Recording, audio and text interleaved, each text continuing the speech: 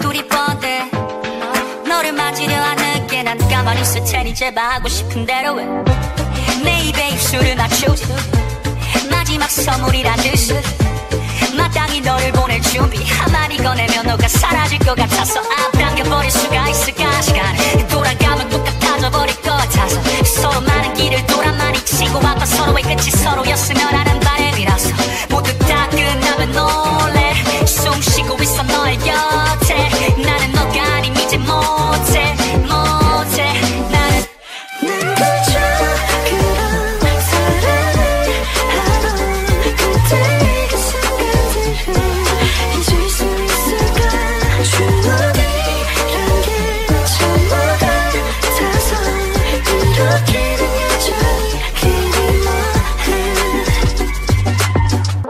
그런 사랑을 하고 이제 와도 후회하는지.